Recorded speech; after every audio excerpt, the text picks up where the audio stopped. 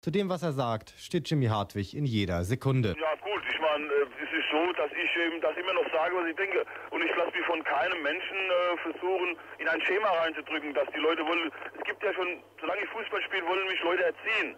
Wollen mir ihre Meinung aufdiktieren und ihre, ich bin halt meine eigene Meinung. Ob die immer gut oder schlecht ist, dahingestellt.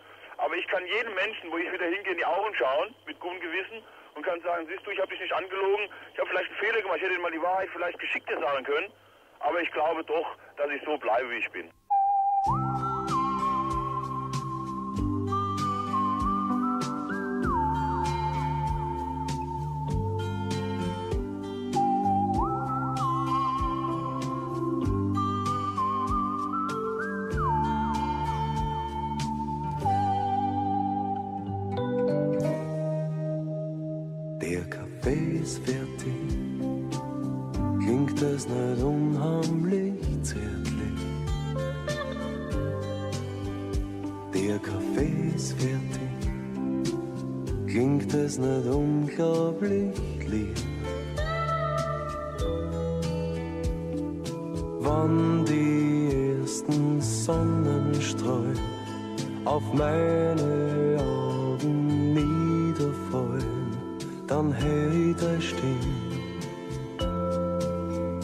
Die wie Glocken klingt. So. Der Kaffee ist fertig, klingt es nicht unheimlich zärtlich. Der Kaffee ist fertig, klingt es nicht unglaublich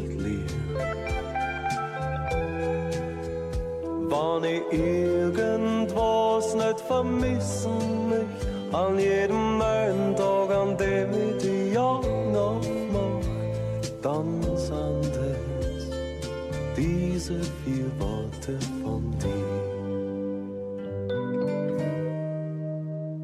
Der Kaffee ist fertig, klingt es nicht ganz einfach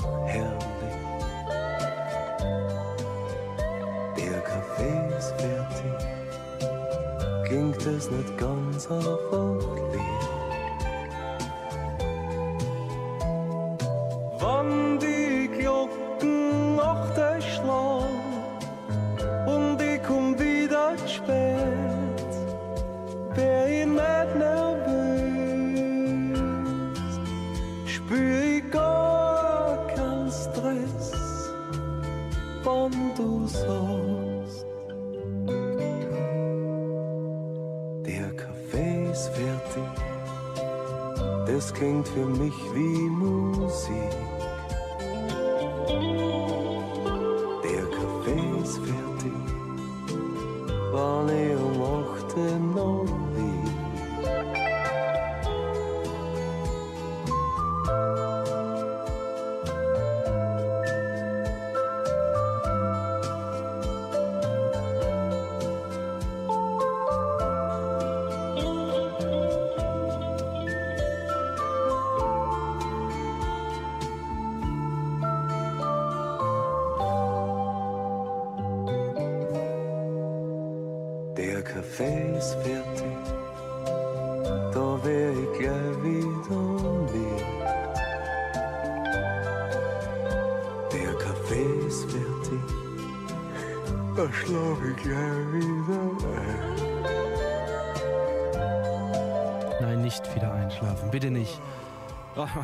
Noch gähnen. Das, ist, das können wir nicht zulassen hier um 7 Uhr und gleich 49 Minuten. Ein kleiner Nachtrag noch zu dem Beitrag von Jimmy Hartwig.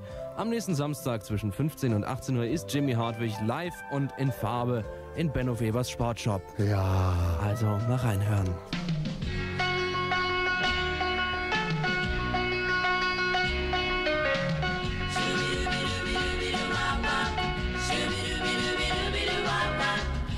Bei 52 13 31. Und dann gibt's 1000 Mark. Es ist 7.53 Uhr in der Stadt Danbury im US-Staat Connecticut. Gibt es zurzeit nur ein Thema. Welche Katze wurde im Garten des Kongressabgeordneten Taborsack mit allen Ehren beerdigt, also Böllerschüssen und so weiter? Die bisherigen Ermittlungen ergaben folgendes Bild. Odie, die rötlich gestreifte Katze der Taborsacks, verschwand am 13. November auf Nimmerwiedersehen. Noch in der gleichen Nacht fand Frau Tabosack eine rötlich gestreifte Katze tot im Straßengraben. Am darauffolgenden Tag wurde der Leichnam beerdigt. Doch die Trauergemeinde hatte die Rechnung ohne Odi gemacht. Tage später kehrte eine rötlich gestreifte Katze zu den Tabosex zurück und gab sich dort eindeutig hauskatzenmäßig als Odi aus. Seitdem bewegt die Ortschaft nur eine Frage. Welche Katze wurde da beerdigt? Oder warum trägt die Katze einen Hundenamen? Warum kann David Hasselhoff nicht singen? Warum sitze ich hier überhaupt? Warum ist Kai Deppe doof? Und gibt's noch irgendwelche Fragen? Hier ist F.O. David. Don't come easy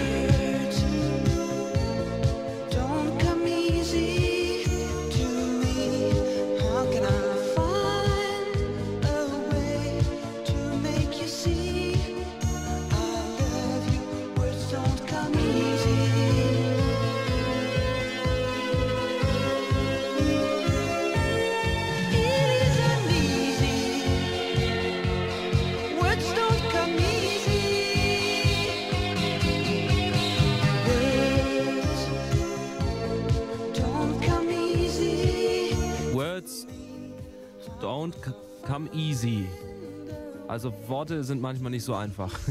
Es ist gleich drei Minuten vor sieben. RTL, das Wunschtelefon.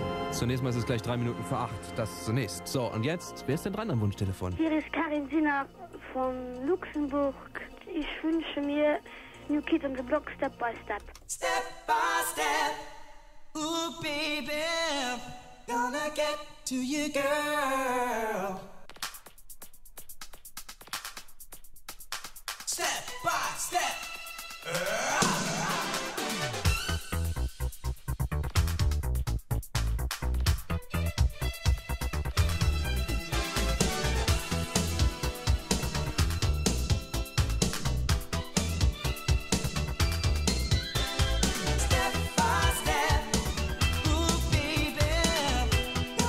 Uhr und zweieinhalb Minuten. Das Wetter kalt, aber wenn wir Glück haben, trocken ist es heute. Starke Bewölkung und mäßige Winde aus allen Richtungen sind dagegen sicher. Temperaturen haben wir auch. Zwischen 5 und 8 Grad werden sie liegen, also bitte warm anziehen.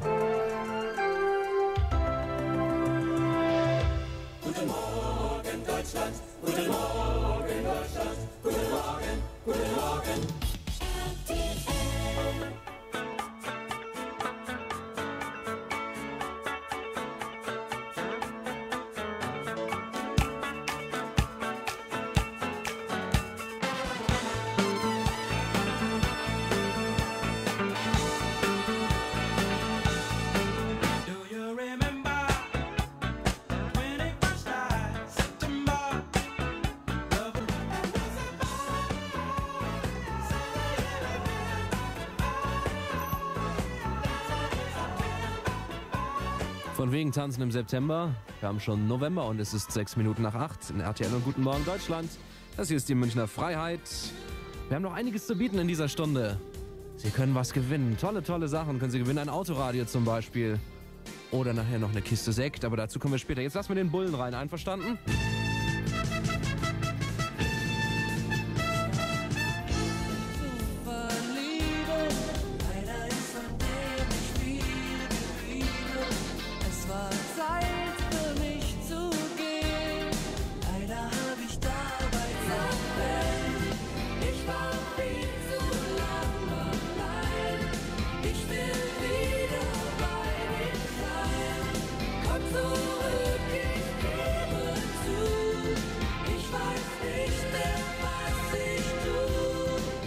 Noch, was ich tue. Ich sage in die Uhrzeit, es ist 10 Minuten nach 8. Wenn man seinen eigenen Aussagen Glauben schenken darf, dann wird er heute 161 Jahre alt. Nein, kein neuer Methusalem. Es ist auch kein Knoblauchwunder. Ilja Rogoff hat damit nichts zu tun. Aber es ist auch kein Hundeleben. Herbert Spieß löst das Rätsel für uns. Die Lebensjahre eines Tennisprofis zählen wie Hundejahre, hat Boris Becker einmal geäußert. Er wird zwar heute erst 23 Jahre alt, doch wo er sich auch aufhalten mag, er wird Bilanz ziehen, Erfolge und Misserfolge gegeneinander abwägen, die Höhen und Tiefen dieses Jahres einzuordnen versuchen. Boris Becker machte in den zurückliegenden zwölf Monaten nicht nur als Sportler, sondern auch als Interviewpartner von sich reden. Seine Sympathiebekundungen für Hausbesetzer, seine Meinung zur Wiedervereinigung und zur Rolle der Bundeswehr erregten viel Widerspruch. Rückblickend kann der Gescholtene den Wirbel nicht verstehen. Ich wollte halt nur, da ich eine öffentliche Person mich und so viele Leute immer fragen, wollte ich eigentlich mal rein dich machen über meine Gedanken, die ich habe und dass ich halt nicht mehr so bin, wie ich, es wäre auch, glaube ich, schlecht, wenn ich noch so wäre, wie ich äh, als 17-Jähriger, der Wimbledon gewonnen hat und das wollte ich eigentlich noch mal klären. Einen ganz großen Triumph, beispielsweise einen Sieg bei einem Grand Slam-Turnier, kann er 1990 nicht vorweisen. Auch die berauschenden Hochgefühle von Davis Cup-Erfolgen blieben aus, weil er seinen Mannschaftskameraden zu Jahresbeginn einen Korb gab, um sich ganz und gar auf sein größtes Ziel zu konzentrieren. Endlich auf der Computer-Weltrangliste als Erster ausgewiesen zu werden.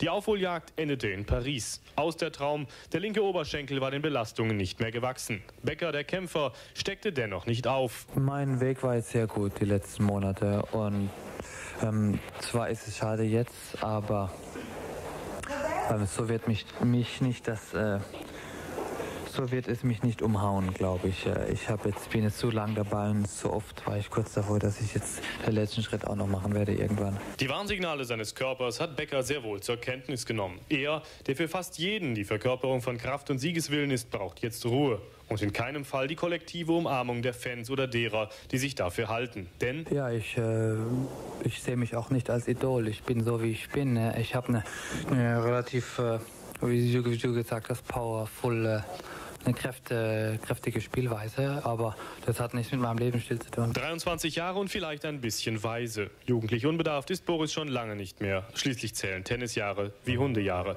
Herbert Spieß, Düsseldorf.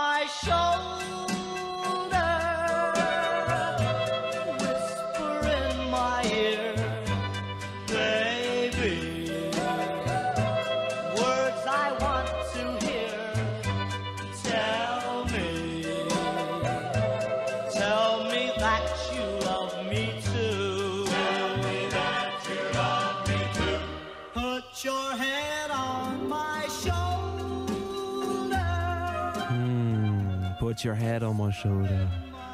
Paul Anker um 8 Uhr und gleich 15. Paul Anker arbeitet in Amerika beim Fernsehen. Als Anchorman.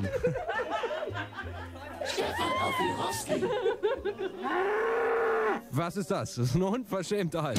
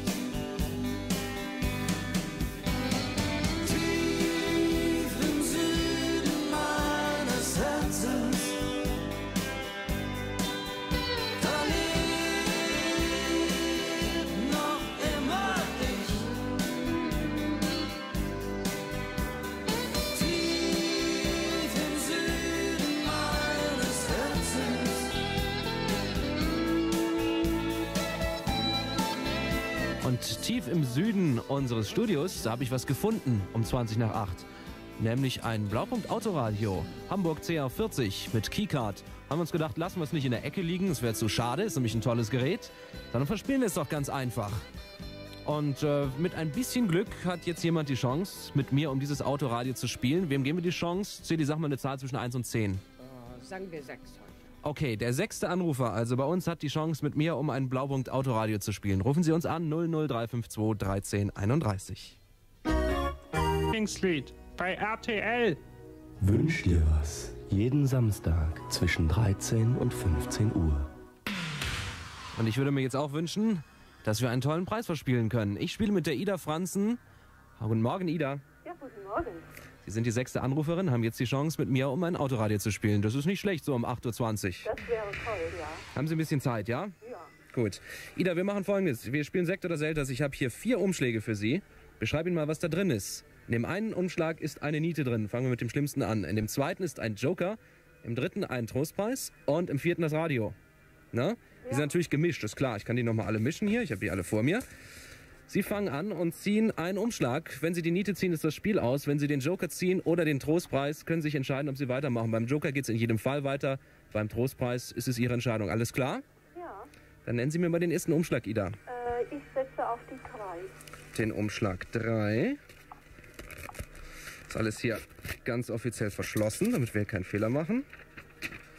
Umschlag 3 ist der Joker. Oh. Also noch nichts noch nix verloren, ne? Äh, Jetzt brauche ich den nächsten Umschlag. ich würde sagen die eins. Umschlag 1. Da könnte jetzt drin sein die Niete, der Trostpreis oder das Autoradio. So, ich habe den Umschlag aufgemacht. Auf diesem Umschlag steht CR40. Wissen Sie, was das bedeutet? Wahnsinn. Das ist unser Autoradio. Wahnsinn. Toll. Wow, super. Toll. Ein Blaupunkt Autoradio für Ida Franzen. Ida, jetzt ist so ein bisschen raus die Spannung. Ganz wunderbar. Ja, freuen Sie sich. Haben Sie ein Auto? Ja. Dann können Sie das Autoradio gebrauchen. Das ist ein tolles Ding. Ich beschreibe es Ihnen mal kurz. Also, das ist äh, ein, Au ein Autoradio Hamburg CR40 von Blaupunkt. Das ist ein Topgerät der Spitzenklasse mit 2x26 Watt, also eine ganze Menge. Natürlich Stereo, ist klar. Es hat ein Tape-Deck, Kassettenrekorder, können Sie also auch die tollsten Kassetten hören. Empfehle ich natürlich nicht. Ich empfehle immer natürlich RTL zu hören in einem Autoradio. Ne?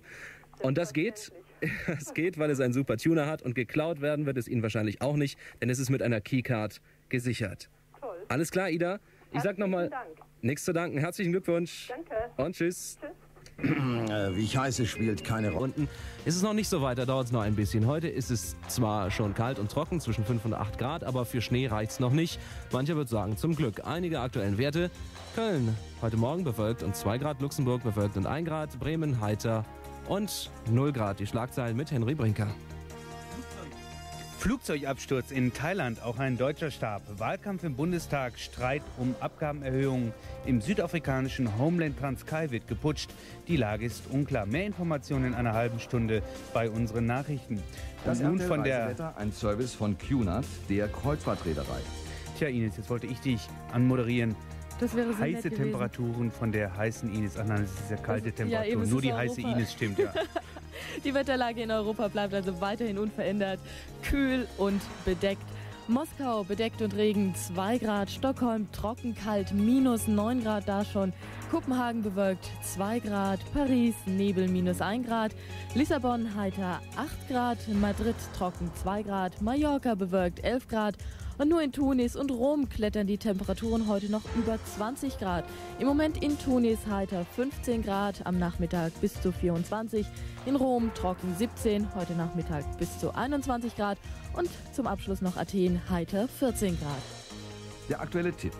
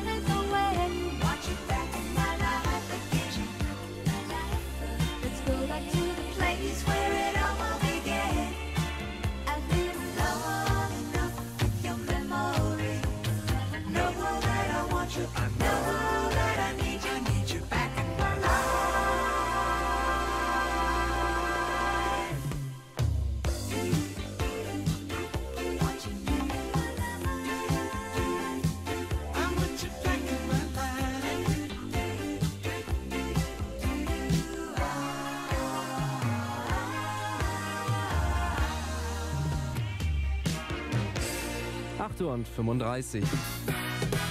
Guten Morgen,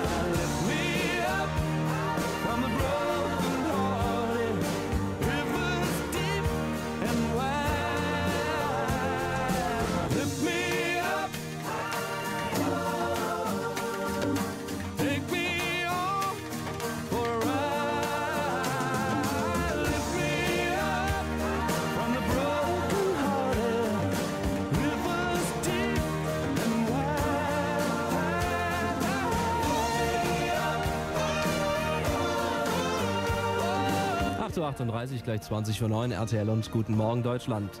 Zuerst hat er mal gefragt, wo bist du? Und anscheinend muss man über sieben Brücken gehen, um dann schließlich in Island zu landen. Und was er dort alles mit seinem Pony erlebt hat, können wir heute Abend um 20.35 Uhr im ZDF im Fernsehen verfolgen. Guten Morgen, Peter Maffei. Guten Morgen, Stefan. Äh, Peter, du bist in Island gewesen. Welche Gegenden stellst du uns heute Abend vor? Also wir sind in Island äh, mehr im Süden und im Osten, südöstlichen Teil gereist. Mhm. Und das Ganze ist aufgegliedert eigentlich in drei, in drei Teilen. Einmal mit Pferden, dann waren wir mit dem Wagen natürlich unterwegs, Mhm. äh, zu Fuß und zwischendurch auch noch ein bisschen mit dem Boot und äh, mit Fahrrädern auch. Mhm. Ich habe ein Foto von dir gesehen in der Programmzeitschrift, da sitzt du auf einem Pferd. So als alter Motorradfreak äh, eine starke Umstellung, oder nicht? Ja, also es ist ja ein, ein, eine, ein klein wenig eine Umstellung. Ein Motorrad macht eher das, was man will. Ein Pferd hat einen eigenen Kopf. Mhm. Aber es ist eine sehr schöne Angelegenheit. Insofern, als äh, man sich ganz langsam bewegt und leicht stehen bleiben kann, man hat eigentlich von der Natur sehr viel mehr. Mhm. Sprichst die Natur an. Was kann denn äh, Island bieten an Landschaft? Wahrscheinlich eine ganze Menge. Kannst du ein bisschen beschreiben? Also ich bin da wahrscheinlich jetzt ein bisschen äh, äh, voreingenommen. Ich halte das Ganze für, für einen, einen Wahnsinn. Mhm. Äh, die Natur ist dort, vermittelt einem den Eindruck, als würde man irgendwie beim Entstehen der Welt mitgucken können. Mhm. Ähm, es gibt sehr wenig Menschen. Man äh, kann also die Natur in vollen Zügen genießen. Sie ist sehr unverbraucht und die Isländer passen auch sehr drauf auf, was äh, unheimlichen Respekt nötigt. Also es ist sehr beeindruckend. Es ist ein ganz, ganz wildes, zerklüftetes Land. Mhm. Du hast das Drehbuch selbst geschrieben, wie auch zu den anderen Reisen mit Peter Maffei. Wie bist du auf Island gekommen? Einfach nur so oder hat dich schon gereizt irgendwann? Äh, ich war noch nie da oben Mhm. und ich habe Bilder gesehen von, von Leuten, die dieses, die Insel bereist haben. Und irgendwie hatte ich immer große Neugierde darauf, einmal selber hinzugehen. Also es, auf diesem Weg ist das entstanden, diese Idee. Mhm. Gut, dürfen wir heute Abend verfolgen. Wie gesagt, 20.35 Uhr, Reise mit Peter Maffei. Ist die nächste Reise schon geplant, Peter? Noch nicht ganz. Also wir haben ja jetzt gerade das eine fertig gemacht und äh, mit der nächsten Geschichte wird es sicherlich noch ein bisschen dauern. Aber vielleicht machen wir mal ein Winterthema Mhm. gegen Ende dieses Winter. Und äh, ganz genau weiß ich noch nicht wo, aber ich könnte mir vorstellen, irgendetwas mit Hundeschlitten oder, oder mit Rentieren, irgendwas in der Art. Okay, alles klar. Dann wünsche ich auch dafür alles Gute und bedanke mich für das Danke Interview. dir. Okay, tschüss. Tschüss.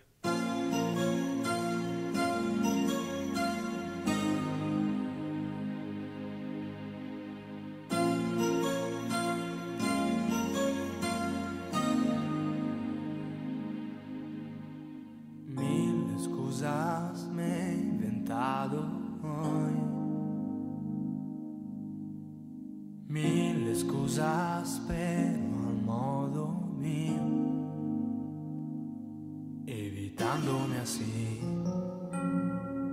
una historia importante. Yo no sé presumir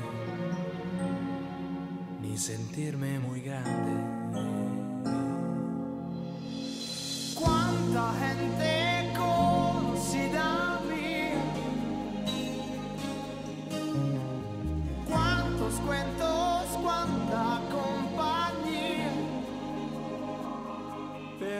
Pienso que aún una historia importante puede que seas tú, tan solo tú.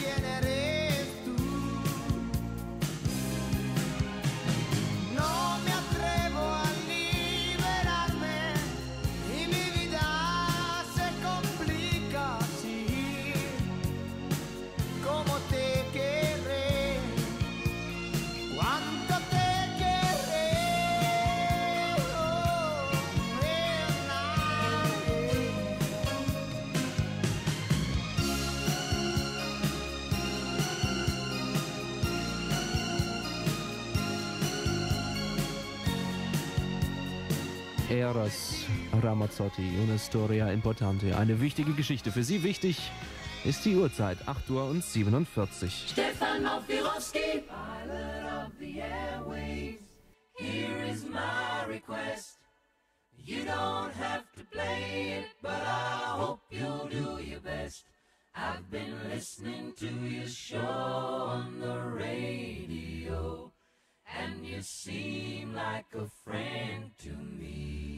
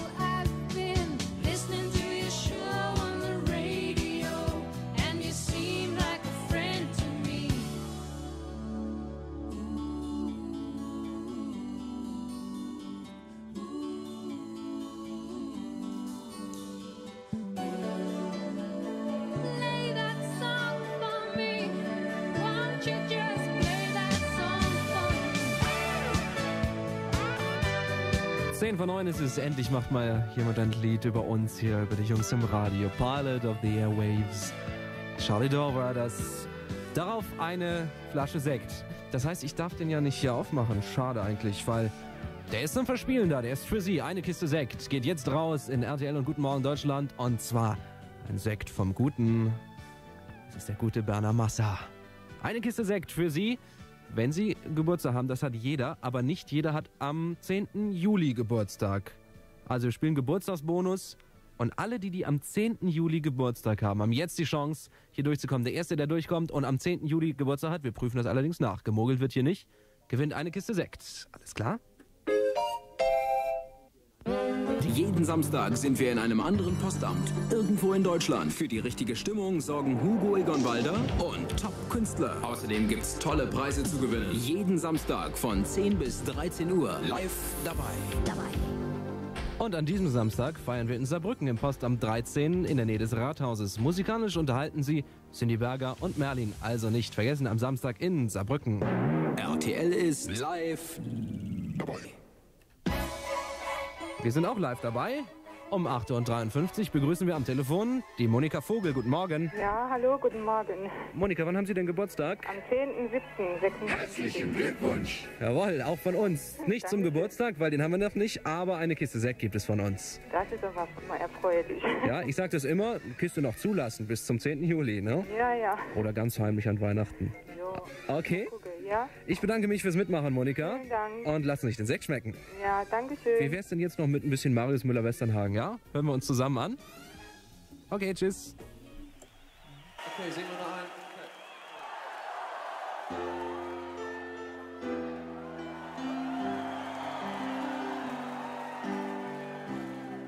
Die Verträge sind gemacht und es wurde viel gelacht und was Süßes zum Dessert. Freiheit, Freiheit, die Kapelle runtertat. Und der Papst war auch schon da.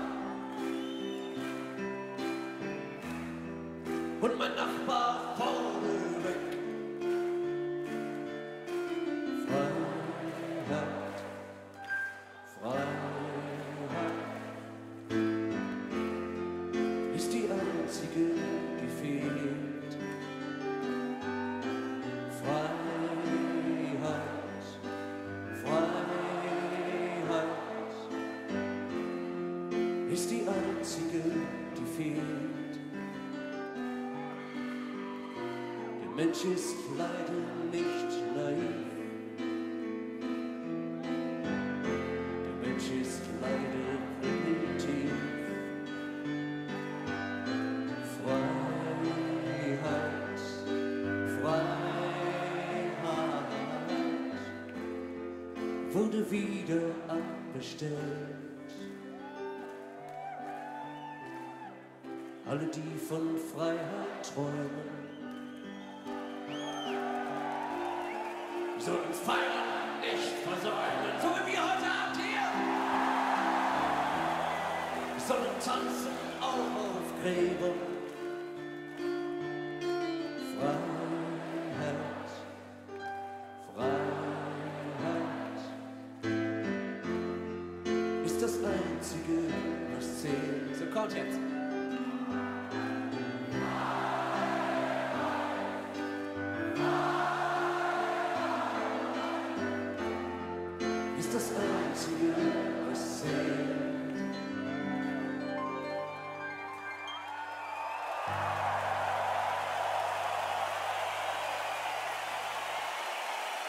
Ihr seid die Größten, keine Frage. Ja, vielen Dank. Ein bisschen Gänsehaut bekommt man schon bei dem Titel. Es ist 8.56 Uhr. Das war's von RTL und Guten Morgen Deutschland. Bedanke mich bei Ihnen zu Hause fürs Zuhören.